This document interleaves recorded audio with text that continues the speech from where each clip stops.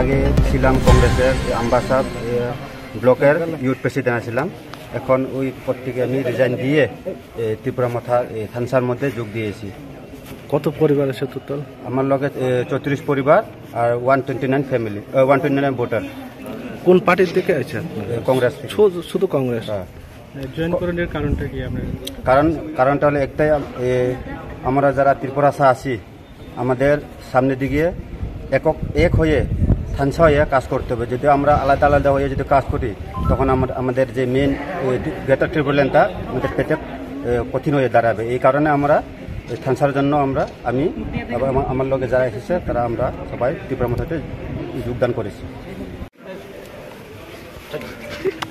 आज आज अम्बासा से अ, एक अ, बड़ा ऑलमोस्ट 50 लीडर्स लोग वर्कर्स लोग ने त्रिपुरा माथा ज्वाइन किया है अ, उन hundred thirty nine voters Simon Halam जो मेरे साथ कांग्रेस में भी था उन्होंने आज त्रिपुरा माथा में ज्वाइनिंग किया। I thank the block president I thank the Y T F secretary Surjit Mong Vijay Ramkhol ji कि इन्होंने ये किया और ये लोग आकर आज मुझसे मिले हैं।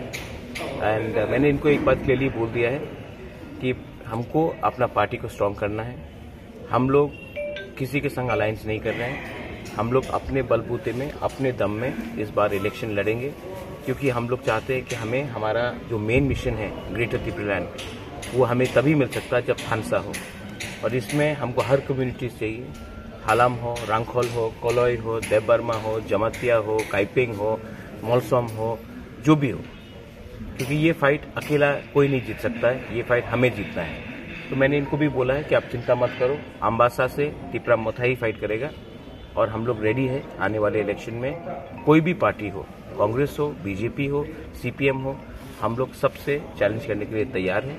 क्योंकि हमारा एजेंडा कोई भी अलायंस से ज़्यादा बड़ा नहीं हो सकता। हमारा एजेंडा ही नंबर वन होना चाहिए। और कोई अलायंस इसमें मतलब ही नहीं आता है क्योंकि हमको अपना ग्रेटर की प्लान चाहिए। और जो हमारा ग्रेटर की प्लान को सपोर्ट नहीं करता है हम उनके संग पॉलिटिकल अलायंस नहीं कर सकते। हमें अपना रास्ते में जाना है और हम लोग अपने रास्ते में जाएँगे।